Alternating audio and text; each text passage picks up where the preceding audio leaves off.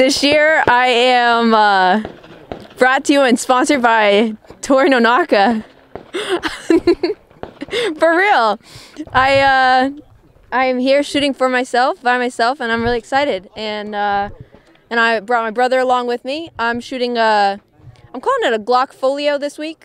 So it's running good though. No jams. Shooting nine millimeter in standard division, and been shooting really accurate match. So I'm I'm excited. I'm excited to see the results.